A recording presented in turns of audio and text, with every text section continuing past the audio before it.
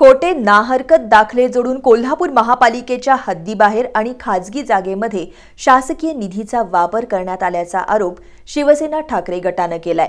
Bogus नाहरकत दाखल्यांची police प्रशासनामार्फत चौकशी करून दोषींवर कारवाई करावी अशी मागणी ठाकरे गटानं केली आहे महापालिकेच्या प्रशासक डॉक्टर कादंबरी बलकवडे यांना या मागणीचं निवेदन देण्यात आलं.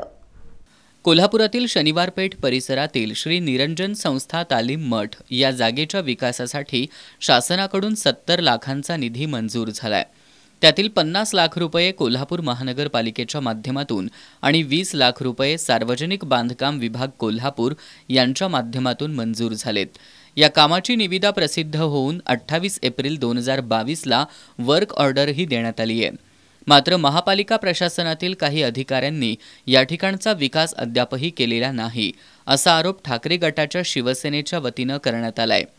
खोटे नाहरकत दाखले देऊन महानगरपालिकेच्या हद्दीबाहेर आणि खाजगी जागेमध्ये शासनाचा निधी वापरला गेलाय आणि त्यातून मोठ्या प्रमाणात भ्रष्टाचारही करण्यात आलाय अशा बोगस नाहरकत दाखल्यांची पोलीस प्रशासनामार्फत चौकशी होऊन दोषींवर कारवाई करावी अशी मागणी ठाकरे गटाच्या शिवसेनेच्या वतीनं करण्यात आली आहे. या मागणीचं निवेदन महापालिकेच्या प्रशासक डॉक्टर कादंबरी बलकवडे यांना देण्यात आलं.